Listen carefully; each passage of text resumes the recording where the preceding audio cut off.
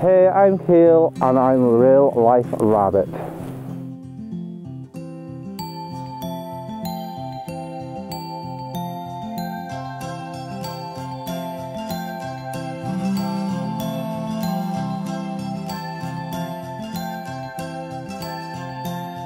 I started dressing up in a rabbit suit when I was about 22.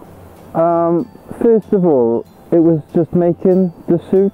It was like a hobby for me, and I'm into with the electronics and animatronics in, in my suits. And then it just progressed further and further, and then one suit turned into two suits, and then three suits, four suits, five suits, six suits.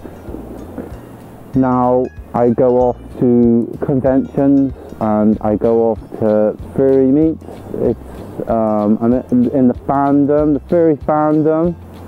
Um, it's part of it. It's a big part of it for me as well now. It isn't just liking the animal as such.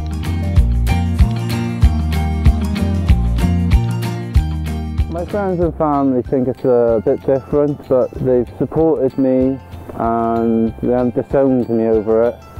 So um, all good. Yeah. I have about six costumes now. My favourite uh, suit is Keel. It's the first suit I made. Um, I worked very hard on him for about two years, constantly changing him and always fitting new animatronics into him. Uh, heads, moving eyes, jaw, cheeks, ears, uh, nose, um, just trying to bring him to life really. It takes me about 20 minutes to get, um, say, my first suit keel on, but then this is my latest suit pop and only takes about five minutes to get this one on. Very simple. Yes, we do go out in public. Um, go off to things called meets.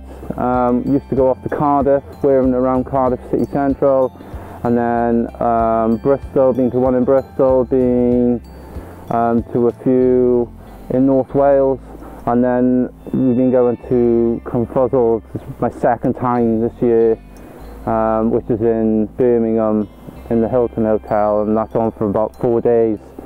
Probably spent thousands on it now, but it's my hobby, and it's, it's no different to buying a car or uh, you know, something else. It's just what I like. Hey, I'm Keel and I'm a real life rabbit.